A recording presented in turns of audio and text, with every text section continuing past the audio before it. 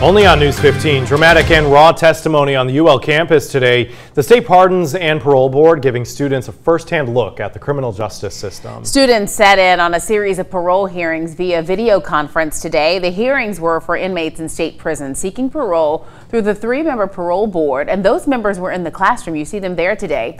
The hearings gave students an up-close look at the criminal justice system here in Louisiana, often with gut-wrenching testimony you had time to think about what you did. You went home and got a gun and came back. So you you know what you was doing. Yes, Ms. And you would- Castle, Ms. Castle, would you address your remarks to the panel and not Mr. Oh, I'm sorry. I'm sorry. I just just I'm I'm I'm I sorry. know. Now, that was Betty Castle addressing Tyrone Smith, who shot her 17 year old son to death outside of a bar in Houma in 2002. Smith is, is 22 years into his 40 year sentence for manslaughter.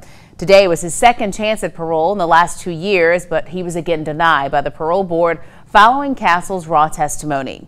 The director of the board stresses transparency in hearings like this one to help students understand Louisiana's criminal justice system. I, I hope that they uh, they see that our, our hearings are fair uh, for all parties involved.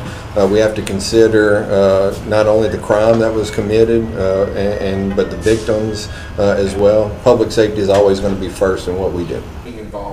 The hearings are streamed live on YouTube, and victims' families are notified in advance of the hearings that affect them so they can offer victim impact statements.